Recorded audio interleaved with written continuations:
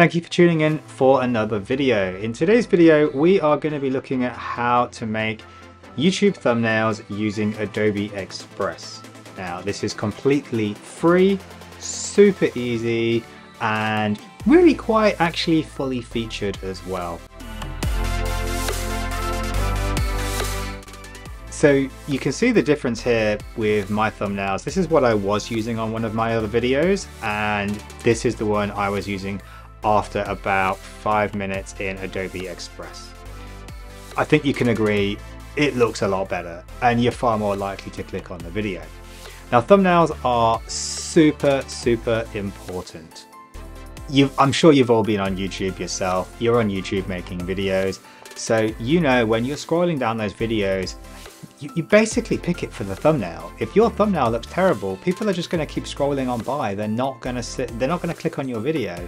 You could have the best video in the world, the most amazing content. Nobody's going to click on it if the thumbnail's terrible. So you need to have a decent thumbnail. Uh, you don't need to spend hours. I used to spend hours doing thumbnails you really just don't need to. Adobe Express super easy. Now there are other free platforms available like Canva for example. But I personally feel with Canva that it's, it's a little bit limited what you can do for free. And I just think Adobe Express is just so much easier. It's so much quicker. It's got things like background removal tools, uh, which are just super useful for, for, you know, for some people for what they want to do. And it actually works really well, to be honest. Um, let's have a quick look. I'm going to jump right into it and we'll just go through making a thumbnail. So I'm going to show you a finished product that I used uh, on my video and I'm going to show you how I made it.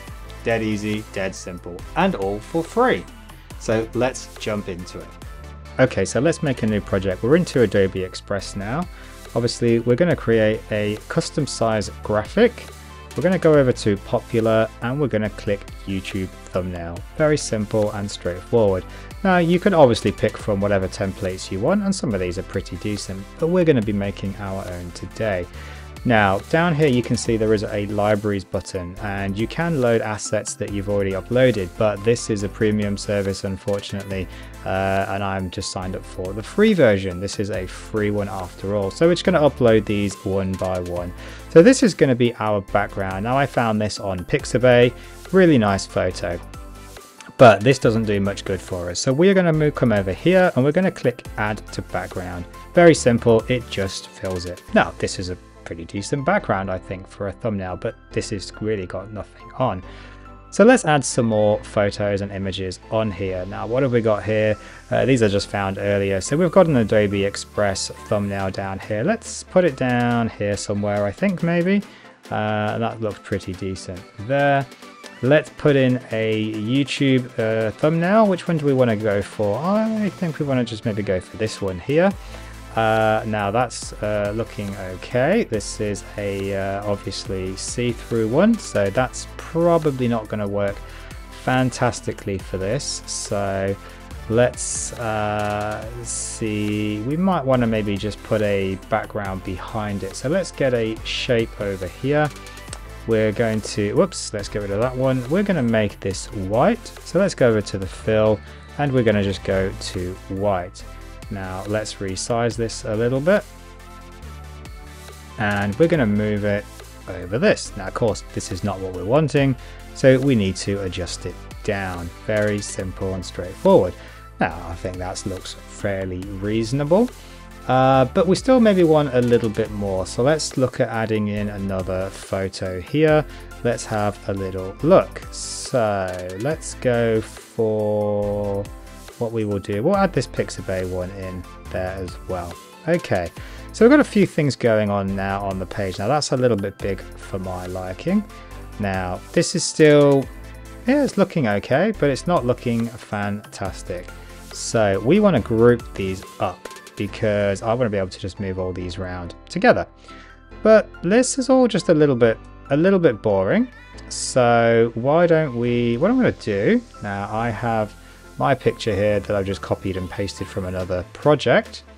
Uh, I don't have this saved on my computer, so I can't just upload it. Now, you do have to bear with Adobe Express. It is cloud computing. There are some slowdowns every once in a while. But yeah, it's pretty decent on the whole for a free editor. So when you're doing things like copy pasting, it takes a little while because I think it kind of downloads and uploads and can't just copy within itself unfortunately but there we go. Now this is a little bit big for my liking. I'm going to move it off a little bit over to the edge here. Okay so we're looking a little bit a little bit better now but it's still just a little bit boring. Let's just add a little bit of flair onto these things there. Okay so we're looking we're looking reasonable now. Now let's get some text in because we need some text for our thumbnails here. Now I just gone over to text pretty simple let's just have a little look. Uh, let's just go for this one today. Okay so pretty straightforward. Double click edit the text. Uh, what shall we call this? How to make a YouTube thumbnail for free in Adobe Express. Okay. Now, that's not very useful in black, so let's change the colour. What should we go for? No, that's not really going to work. Maybe white, nah, it's decent enough. On the background, I think probably white would be the best one there. Now, we've obviously got this little bar underneath, so let's see if we can get rid of that. That's the shape down here. Click that, the bar goes away. Now, that's not fantastic. It's reasonable. Let's just zoom out a little bit. But it's not fantastic. So what I'm going to do, make another shape here. Let's just go for, let's just make this white. And we'll make this, we'll go back to black. And we'll move this one down. And we're just going to move this over there. Now you can see that's already quite a lot better. Let's bring this one right to the top and we might just rotate that one a little bit as well. So, okay, let's just adjust that up a little bit there so all the text is in there.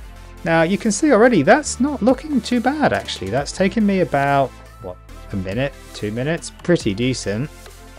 Now obviously we could make some changes and uh, we can change things around a little bit there as well if we wanted to get rid of the Pixabay for example and uh, maybe just move this one down here. Um, I think that's actually somewhat reasonable. So for two, three minutes at most, it's pretty good going actually. I'm just going to make this box a little bit bigger there. Just I feel, feel like it's a little bit tight on this. So let's just make that a tiny bit bigger. there you go. I think that's a halfway decent thumbnail. How to make a YouTube thumbnail for free in Adobe Express. I think that's I think that's pretty reasonable. Okay, well, what we're going to do is we're just going to download whatever type you want. Of course, I just do PNGs usually. There you go. Job done. Took about two minutes, absolutely free of charge. Loads of websites where you can find images. Most of these were just found in Google, the YouTube uh, picture there, and the Adobe Express just from Wikipedia, basically. They just got the free uh, photos on there. Um, super easy. The background was from Pixabay and I think that looks reasonable. Pretty good. I'd probably click on this video. It took me about two minutes. Very simple and straightforward. Thank you for watching guys and I will see you in the next video.